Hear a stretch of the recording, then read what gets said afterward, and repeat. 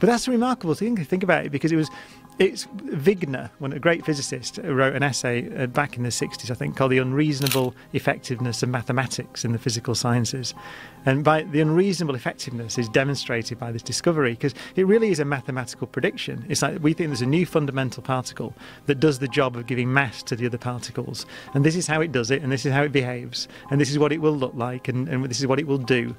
And then 50 years later, you build the biggest machine ever built, 16 miles in circumference. Most of it's in France, a bit of it's in Switzerland. 10,000 scientists, yeah, 150 countries. You, you, you, accelerate protons, the nuclei of hydrogen, around this thing at 99.999999% the speed of light. Wow. They go around the 16 miles 11,000 times a second. We can collide 600 million of them together every second to recreate the conditions that were present less than a billionth of a second after the universe began. Photograph it in the biggest digital cameras ever built. The one I work on called Atlas is 40, 40 meters in diameter. Huge, vast, vast thing. 7,000 tons of digital camera in a cavern the side of. St. Paul's Cathedral underneath the ground in Switzerland. And you find it